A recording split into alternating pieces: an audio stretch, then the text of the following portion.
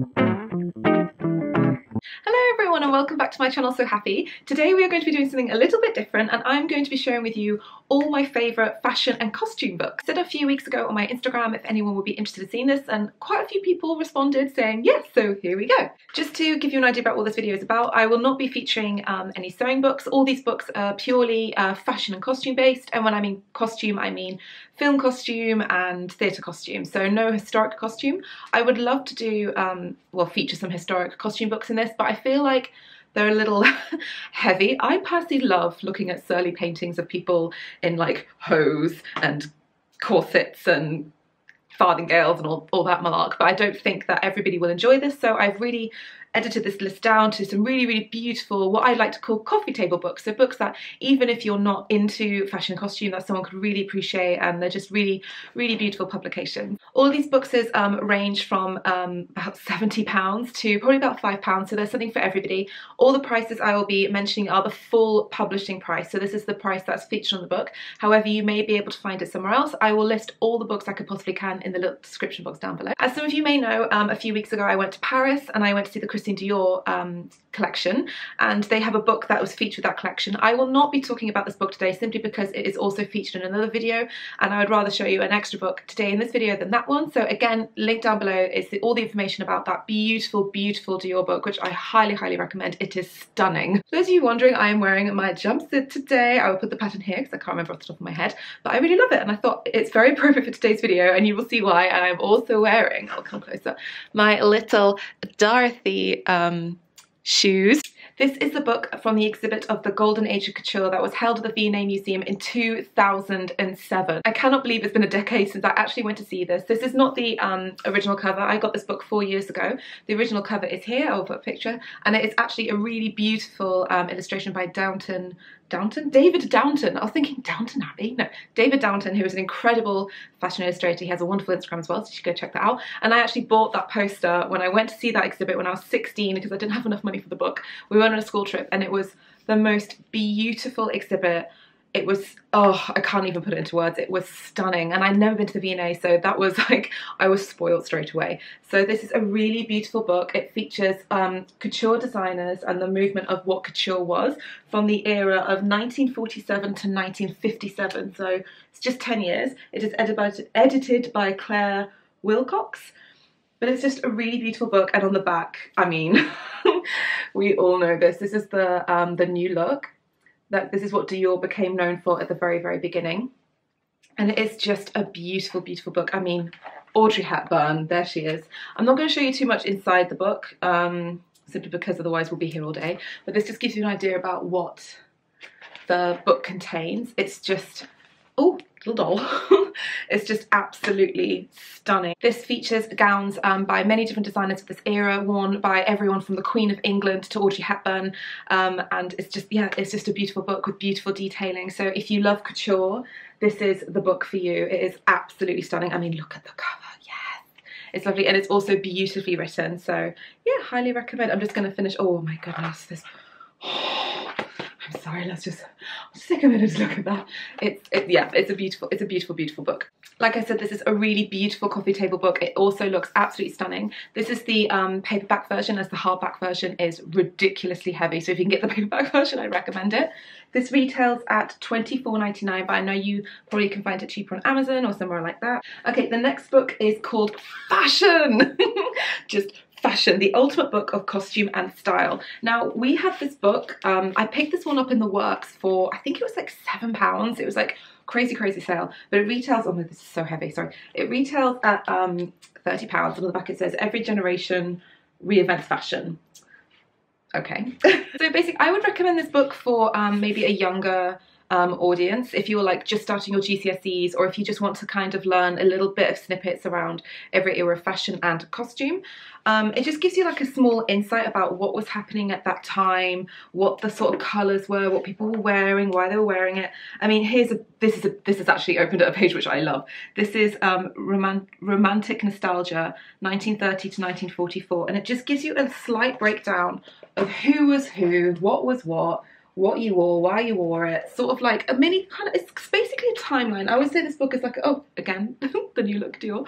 Um, it just gives you a sort of breakdown about why we wore what we wore, um, outer layers, undergarments, um, everything like that, sort of prints, fashion. I mean, this is all quite um, sort of the new stuff. Oh, they have a whole section of Biba. I didn't realise that. Oh, I have to reread this.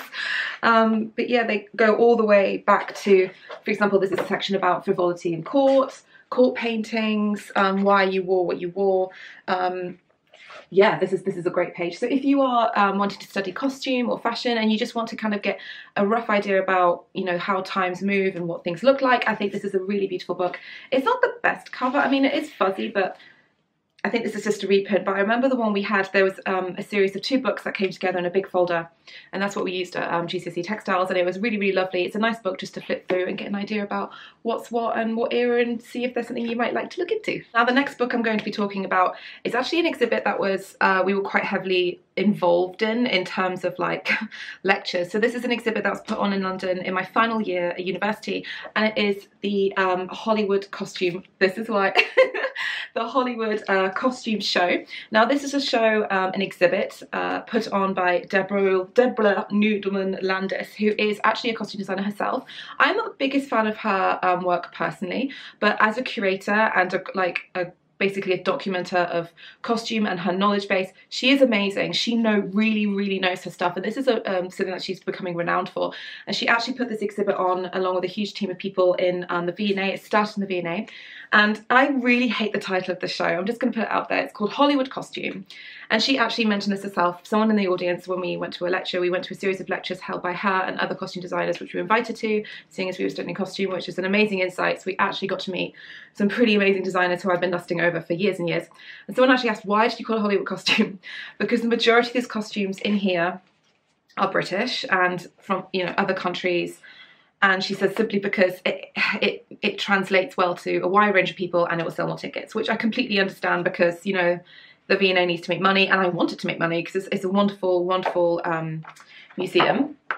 But this exhibit actually was uh, basically every iconic uh, Hollywood costume you could think of. So they had things from Harry Potter they had um, the red dress from Gone with the Wind you'll know the dress I mean. They had the Dorothy shoes, the Dorothy dress, the atonement dress, everything. It was beautiful. It was kind of like, this is the best way to put it, the Madame Tussauds of costume. Like everyone that's kind of, you know, people know of in like pop culture, the costumes are there. It was an incredible exhibit. I went to it five times.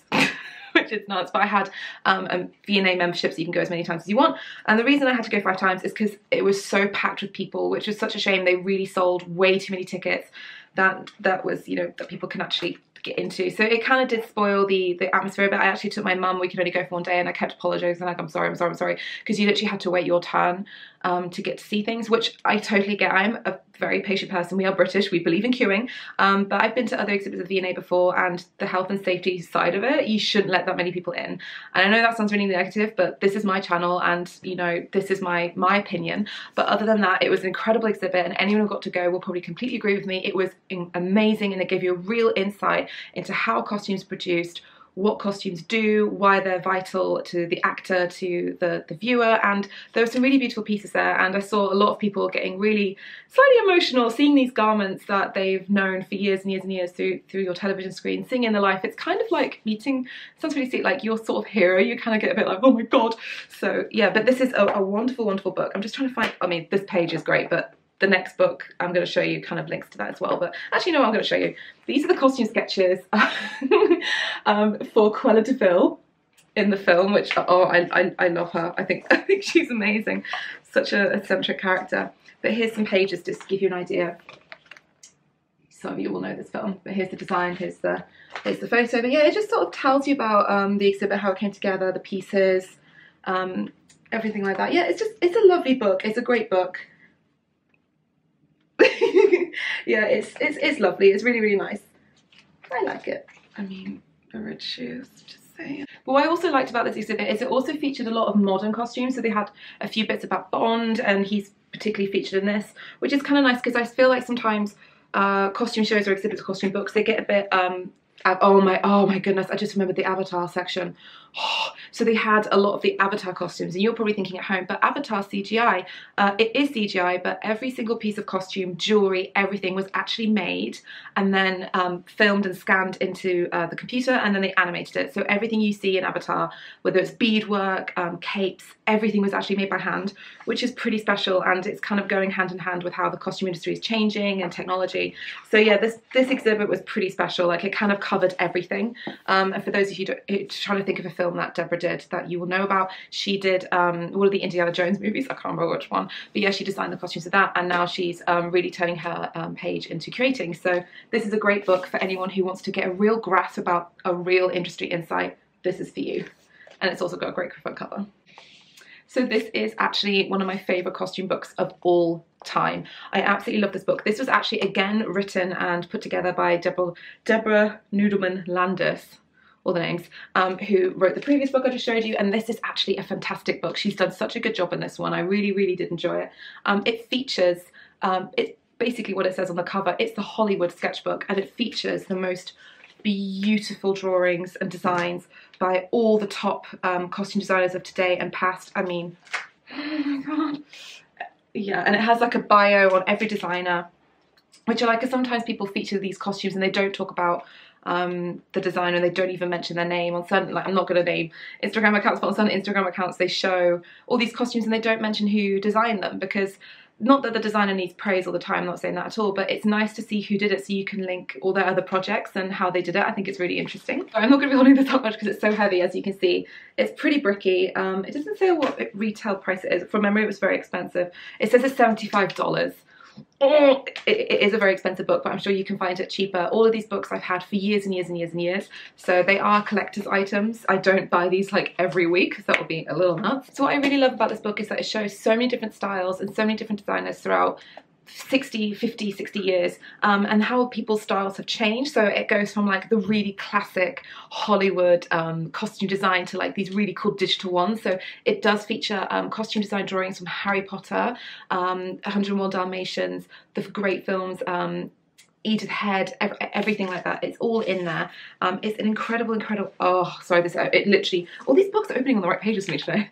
I mean, just can we just take that in a second? Isn't that the most beautiful, beautiful drawing you've ever seen? Oh, it's gorgeous. I mean, here's I mean, here's one of Tilda Swinton, for example, and it's all like digital and funky. Yes, I mean, Anthony Powell is one of my favorite designers of all time. This is his um, Cruella sketches. So you can just get a really good idea about what's in this book. So it has all these stunning beautiful drawings. I wish I could find the Harry Potter one, but if I if I looked through every single page for you, it will take a really long time. But it just gives you a rough idea about what's in this book, the sort of style it has. It's really stunning. So even if you're, oh, I shared this on my Instagram and it's got fabric samples here. It's just a stunning, stunning book. It's very, very heavy. And I just love looking at it and also how people present character. It's a very interesting um, process. Oh my God, is that Cecil Beaton? I think it is Cecil Beaton. I could be wrong. Oh no, it is Cecil Beaton. Oh, I love this story. This is um, Audrey Hepburn here in My Fair Lady. And for those of you who don't know, um, Cecil Beaton designed um, the costumes for My Fair Lady. Cecil Beaton was this incredible um, artist, photographer. He took pictures of the Queen, Princess Margaret. He designed ballets and oh, he was just amazing. And I, I love this. I love this. So this is, this is really exciting. I'm getting excited again. I'm going to turn this camera off and look at the book. My goodness. this is so good. I've just found costumes on Hook. Oh, okay, put this away, put this away. Put it away, but yeah, I love this book. Continuing on from um, the greats and costume designers, um, for those of you who are sort of new to um, costume design or film, if you like film costumes, the go-to for old Hollywood is Edith Head. This, this is Edith Head. And for those of you Edith Head who don't know, Edith Head is a huge multi-Oscar winning costume designer from the great golden age. Um, she designed costumes for Grace Kelly, Audrey Hepburn. She did all the big, big, big, big Hollywood iconic films that you know today and love. And she is pretty amazing. Um, there's some really interesting um, backstory to this designer, there's a lot of debate around her because she also collaborated with Givenchy, um, if I'm pronouncing that right, a lot of the time, and people were like, oh, he kind of deserves an Oscar too. So it's a really interesting um, Hollywood gossip for you there. Um, but I think she's an incredible, incredible artist. Um, and for those of you who've watched The Incredibles, they based the costume design for the superheroes on Edna Mode. So her name was um, I can't remember her. Oh yeah, Edna Mode, I just said it. Her name was Edna Mode. They based her on Audrey, on um, Edith Head, sorry, and that literally, I, I died. When we went to cinema, I was like, that's Edith Head, and my family like, who's Edith Head? I'm like, who's Edith Head? You raised me. Um, but yeah, I fell in love with Edith Head when I was about 13 years old, and I got the big box set of Audrey Hepburn films, complete Audrey Hepburn films, when I was 14, and I just absolutely fell in love with her. She's amazing. Oh yeah, oh my goodness. There's a section on Roman Holiday. I think this is Audrey Hepburn's first film and there's one of her sketches, um, or one of her pupil sketches. Um, but yeah, yeah, she's just she's just a very interesting woman. Um, and oh, she also designed costumes for Marilyn Monroe. And yeah, she's just it's just a really interesting book. It's a really really beautifully put together book about her process and, and like what it was like working with her and her designs and, and things like that. So yeah, it's it's um, really interesting. And she also designed costumes for Alfred Hitchcock. So that just gives you an idea about how big she was in the day. So if you discover who Edith Head who Edith Head is, you'll discover the amount of work she did, and she really was a, like a pinnacle designer of the time. And today, she still is very well renowned and an incredible, incredible woman. And a lot of people, there's a lot of rumors. I don't know whether this is true or not. Um, it could just be one of those really funny Hollywood facts, but she's very well known for her round, dark glasses, and people just thought this is sort of like um, a fashion statement, but it's been um, said, it might not be true, but this is what I've been told, that she wore these dark round glasses and she was designing to be able to see how fabric looked when it was black and white. So back in those days when she had her career really started out, um, all films were filmed in black and white. So colour did not exist, but then again, certain fabrics look different when they're filmed in black and white. So she had to have an idea about how they were going to look. So that's why she wore the big glasses. I could be wrong. This could just be a rumour, but I just think that's a really nice story. So yeah, God, these books are so heavy. So we're down to our last book now, guys. This is um, a complete ego project for me. Uh, this is my favourite book. Um, simply to my taste. Um, for those of you, you might not, not many people know about the Ballet Russe. Uh, the Ballet Russe was um, a Russian ballet company um, and oh, I'm getting emotional just thinking about it, which is really silly. It's a ballet company that no, technically, technically no longer exists, um, and everyone's dead, which is really sad. This was again another costume exhibit uh, featured the the V&A called about the Ballet Russe, and it was called Diaghilev.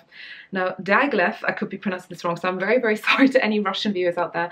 Um, he basically owned the Ballet Russe, and the Ballet Russe was this incredible ballet company and it nurtured and created some of the most incredible incredible pieces of modern ballet it's, it's amazing. So if any of you, most of you would have heard music featured and curated for this ballet company. So if any of you ever watched Fantasia, you know the T-Rex dinosaur scene, that, that music is called The Rite of Spring. That was a Ballet Russe company uh, production. That was by Diaghilev and um, Kandinsky or Nijinsky. Kandinsky did set design for them from memory. So there's a lot of, this is where it gets confusing, confusing. There's Kandinsky, Nijinsky, and lots of other people it's very hard to get all their names right, um, but that piece of music was created for this um, company and for any of you who are big ballet mu classical music nerds, when The Rite of Spring was shown, it was so shocking that people left the theatre. They were like, we, we are not standing for this. So in a time when ballet was very much um, pointe shoes and tutus and people were opera gloves to go see these in beautiful, beautiful productions,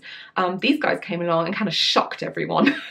and some people were like, what on earth is this? And some people, for example, like Coco Chanel were like, oh, hi guys. And she actually designed for them too, along with Picasso. So, um, oh, and here's a close up of one of their costumes, which were very chunky and very beautiful. Oh, guys, just, oh my goodness, I can't even. So I went to see this exhibit when I was at uni and it was huge. It was, it was, in a way it was too big um, and that's coming from me because um, I felt very faint halfway through from, from pure excitement and um, you know, emotion. But this is just some of their drawings and designs and oh, this is just so, uh, this is so beautiful. This is my jam, big time. This is my jam. Oh, um, yeah, I just love it. I, I, just, oh, it's, it's my dream to have, oh, hello, lover. Some of you may remember me um, sharing this picture on Instagram. It is just abs absolutely stunning. It's so beautiful. This is um, a costume designed by Leon Bakst. Leon Bakst was a costume designer for them for many, many years. Um, and his, his drawings alone are just absolutely beautiful. And it's my dream to own some of his prints. Obviously not the originals. I am not that wealthy. But I remember watching I've only seen this film once. I know I want to see it again. I'm sorry for any of you who are fans. Fifty Shades of Grey he has them in his house. He has them in his house he has them in his house but yeah yeah he has those prints um, I noticed them in the background that's the only thing I appreciate about those films yeah here's some of the other drawings. They're just beautiful, beautiful pieces of costume. Um, I love uh, Russian art as well. Um, some of these aren't exactly 100% Russian influenced, um, but some of his pieces, I mean, this, this headdress, yes. Um, but the majority of their stuff was um, like Russian um, traditional wear and and all that all that lovely lovely colorway and, and, and stuff like that. And um, they have a really really amazing story as well um, when they had to, they had to leave Russia at some point. Um, that's more political. Obviously if you want to learn more about that um, you should read this book. But it's just really really beautiful um, book and company and their story is just pretty amazing. And there's a lot of love and romance and the story of the director and one of these amazing amazing um, dancers. They had a love affair which which literally makes my heart soar with happiness. Um, but there's also very sad stories um, around this company, but it's just, oh, it's it's it's amazing. And for those of you who work in theatre or you know that your, your company is kind of like a weird family. So with the family comes gossip and it's all in here. This is this poster, again, I need this poster in my life. This, some of you who are Bourne fans might recognize this pose. This is a picture of Nijinsky. Now Nijinsky was this one of the most groundbreaking dancers at this point. Um, there's very little uh, film or um, other pieces of his actual dancing. They have they've managed to put together some pictures of his faun uh, dance, and they, um, if any of you watched the Darcey Bussell documentary, they managed to put together um, his faun dance so slightly so you can see how he moved. And if any of you watched um, Queen's music video, I can't remember which one it was, but he actually was dressed up as the faun, and then he rolls across people's bodies. It's really funny. I love it. Yes, Freddie. Um, but this pose um, by Nijinsky, who was in fact Diaghilev's lover. They became lovers instantly when they saw each other. It was like, pachow! Um, this is a pose uh, that he came up with, this position here, which uh, I'm getting goosebumps now just thinking about it. I'll put a picture here, was um, the main inspiration for um, Bourne's Swan Lake, and they use this pose, so it's kind of like a hom an homage or homage, an homage, an homage. Uh, hats off to you, mate, kind of um, pose that is continued. It's just so strong and so beautiful and oh, I love it. It's, it's just the power of performance. I'm just putting out there. So yeah, in case you haven't noticed, uh, there's a lot of emotional attachment to this book and to this exhibit and to this era and movement and everything about it. I just think it's really, really wonderful because these artists put on stuff that they believed in and they created ballet which they thought was like amazing and revolutionary. And yes, people didn't accept it at first, but now it's become some of the greatest scores of all time. Um, it's become some of the greatest well-known and respected ballet companies of all time. So it just shows that if you're creating something and people hate it or they hate you for it, you know they're they're they're behind and you're the future and it's fine because they did it and they managed to make it work so yeah they're pretty incredible guys so I just absolutely love it and it's a really beautiful story so for those of you who love ballet and you want something a bit different from the old, you know, the tutus and the, the pointe shoes, I would highly recommend this. And on the cover, I think this is the Chanel designs. This is the Coco Chanel designs here. And for those of you who don't want to get the book and you want to learn more about Coco Chanel and her involvement with the Ballet Russe and her uh, with the composer who did the of Spring um, music. This film, I highly recommend. It is in French, but it's amazing and it's subtitled. And every time I hear that music, it just reminds me of being at uni because I listened to that music because we designed that um, that show for personal um, designs, not for production. Um, I listened to that music all day, every day for about a month and a half. Um, and that was around the time me and my uh, my boyfriend we fell in love and we, we got together. So when I hear that, I'm like, dun dun dun dun, hi hi hi, Mr. Lee, Mr. Lee. so that is all of my recommended um, costume and fashion books. I really hope you enjoyed all my rambling um, and that you enjoyed watching. And let me know if you already own some of these, if you want to get some. Um, it is around Christmas, and I know it's a taxing time of year, but you deserve to treat yourself too. So take care of yourself, everybody. Um, don't burn yourselves out like I've been doing. I will put all the books down below, including the films that I think um, you'll enjoy that I linked to this um, these um, ballet movements or films that to do with costume designers thing. Hope you enjoy the rest of your day and I will see you soon. Thank you, bye!